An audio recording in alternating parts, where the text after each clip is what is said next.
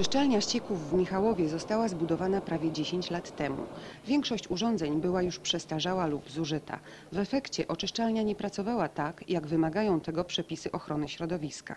W 2002 roku samorząd y, w Michałowie płacił około 15 tysięcy kary y, kwartalnie za wadliwe działanie oczyszczalni ścieków w Michałowie. W związku z powyższym po objęciu urzędu y, niezwłocznie przystąpiłem do modernizacji tej oczyszczalni. Zostały zawieszone kary, które mam nadzieję zostaną nam wliczone w poczet tejże modernizacji.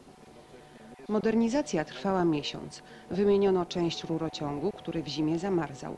Specjalny sterownik automatycznie kontroluje pracę całego obiektu i informuje o awariach. Dzięki temu zmniejszą się koszty działania oczyszczalni i wreszcie zniknie zagrożenie ekologiczne. Do tej pory osad był wywożony na wysypisko, na- natomiast w chwili obecnej zastosowano nowoczesne urządzenie typu drymet, które odwadnia osady i dzięki temu będzie można stosować osad jako na przykład nawóz pod trawniki, ewentualnie do upraw rolnych.